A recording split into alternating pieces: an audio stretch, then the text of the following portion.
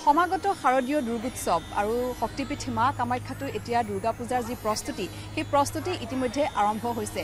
কাৰণ মাজত মাত্ৰ আৰু কেইটামান দিন আছে প্ৰায় তিনি সপ্তাহ। তাৰ পিছতে শক্তিপীঠ কামাখ্যাত আৰম্ভ হ'ব নৱৰাত্ৰি। আৰু প্ৰত্যেক বছৰে যিহেতু দুৰ্গা পূজা খুব সুন্দৰকৈ যি ইয়াত ৰীতি নীতি আছে সেই ৰীতি নীতি অনুসৰি শক্তিপীঠ মা কামাখ্যাত দুৰ্গা পূজা অনুষ্ঠিত হৈ আহিছে নৱৰাত্ৰি অনুষ্ঠিত হৈ আহিছে। তাৰ বাবে এইবাৰো দেৱালয় কৰ্তৃপক্ষই সকলোখিনি প্ৰস্তুতি সকলোখিনি ব্যৱস্থা কৰিছে। কিন্তু তাৰ পূৰ্বে মন্দিৰৰ যি চৌহদ আছে সেই চৌহদৰ ভিতৰত কিছু আন্তঃগাঁথনিৰ কাম কৰি থকা হৈছে। কাৰণ পূজালৈ মাজত মাত্ৰ কেইটামান দিন বাকী আছে। আমাৰ সৈতে মুখ্য দলৈ উপস্থিত আছে। কবীন্দ্ৰ শৰ্মা আমি তেওঁৰ পৰা জানিম। নৱৰাত্ৰিৰ প্ৰস্তুতি ইতিমধ্যে আৰম্ভ হৈছে।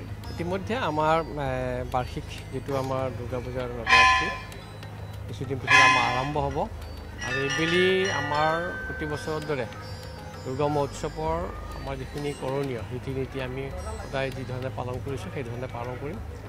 আকৌ গোটেই মন্দিৰখন এটা সুন্দৰ পৰিৱেশত সজাই পৰাই ফুলৰে সজ্জিত লাইট আদি তেনেকুৱা ধৰণৰ ব্যৱস্থা আমি গ্ৰহণ কৰিম। ইতিমধ্যে আমি আমাৰ দেৱালয় কৰ্তৃপক্ষই এই মন্দিৰখনলৈ গৈ বিভিন্ন পৰ্যায়ত দেশ বিদেশৰ ভক্তৰ সমাগম ইতিমধ্যে বাঢ়ি পৰিছে। যাত্ৰীসকলৰ সা সুবিধাখিনিৰ ওপৰত ভিত্তি ৰাখি কিছু আমি অন্তৰ্গাঁথনিৰ কাম ইতিমধ্যে আৰু পূৰ্ণগতিত কৰাৰ কাৰণে আগবাঢ়িছোঁ। যেনে আমাৰ এতিয়া আমাৰ আৰম্ভ হৈছে যাত্ৰীসকল যিটো আমাৰ পৰিক্ৰমাৰ পৰিক্ৰমাৰ যিটো ব্যৱস্থা পকাখিনিত আমাৰ আগতে এটা গৰম ভাৱ এটা আহিছিলে। সেইটো এটা নতুনত্ব কৰি যাতে সেই কুলিং ছিষ্টেমেৰে আমি সেইটো ব্যৱস্থা কৰিব যাতে যাত্ৰীসকলে কোনো ধৰণৰ কষ্ট নাপায়। তাৰোপৰি আমি ইতিমধ্যে ই টিকেটিঙৰ ব্যৱস্থাও কৰিছোঁ। তাৰোপৰি যাত্ৰীসকলৰ বহাৰ কাৰণে ৱেইটিং ছেটৰ ব্যৱস্থা এনেকৈ ধৰণৰ কিছুমান আমি অন্তৰ্গাঁথনি কাম হাতত লৈছোঁ। আৰু সেইখিনি আমি যিমান সোনকালে পাৰোঁ ইতিমধ্যে আমি কাম প্ৰস্তুতি লৈছোঁ আৰু আগবাঢ়িছোঁ। কিন্তু আমাৰ যিখিনি পৰিক্ৰমাৰ যিখিনি কাম আমি আৰম্ভ কৰিছোঁ সেইখিনি আমি এই শাৰদীয় দুৰ্গা মহোৎসৱৰ নৱৰাত্ৰিৰ আগে আগে শেষ কৰি ফাৰ্ষ্ট পেজত সেইটো কাম আমি সম্পূৰ্ণ কৰিম। আৰু যথেষ্ট দৰ্শনাৰ্থীৰ ভিৰ দেখা পাইছোঁ। গতিকে এই নৱৰাত্ৰি উপলক্ষে এতিয়াৰে পৰা বাহিৰৰ যিসকল ভক্ত আগমন হয় মানে এতিয়া কমিউনিকেশ্যনটো এনেকুৱা এটা সুবিধাজনক হৈছে। যাত্ৰীসকলৰ প্ৰচাৰ মাধ্যমৰ যোগেদি যথেষ্টখিনি হৈছে।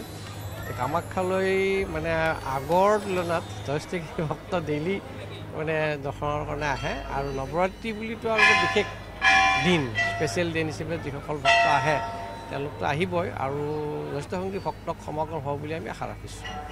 বাকী সকলোখিনি ইয়াত যি ধৰণে ব্যৱস্থা কৰিব লাগে আপোনালোকে গোটেইখিনি কৰিছে আৰু হয় আমি ব্যৱস্থা গোটেইখিনি লৈছোঁ। আৰু ইতিমধ্যে যাত্ৰীৰ কাৰণে যিখিনি সা সুবিধা পূৰ্বতে যিখিনি সুবিধা আছিল সেই সুবিধাখিনি আৰু অত্যাধুনিক হিচাপে গঢ়ি তোলাৰ কাৰণে আমি কিছুমান প্ৰজেক্ট আমাৰ হাতত লৈছোঁ। আৰু সেই প্ৰজেক্টবোৰ লাহে লাহে লাহে আমি কিছুদিনৰ ভিতৰত কমপ্লিট কৰি শেষ কৰিব পাৰিম বুলি আশা ৰাখিছোঁ। গতিকে ধন্যবাদ জনাইছোঁ। আৰু প্ৰত্যেক বছৰে ইয়াত নৱৰাত্ৰিৰ সময়ত খুব এটা সুন্দৰ আকৰ্ষণীয় পৰিৱেশ হয় আৰু য'লৈ কেৱল দেশৰে নহয় বিদেশৰ পৰাও বহু ভক্ত ইয়ালৈ আগমন ঘটে। আৰু যিহেতু আন্তঃগাঁথনিৰ কিছু উন্নয়নৰ কাম ইতিমধ্যে কৰি আছে সেই সকলোখিনি পূজাৰ পূৰ্বেই নৱৰাত্ৰিৰ পূৰ্বেই সকলোখিনি সম্পূৰ্ণ কৰা হ'ব।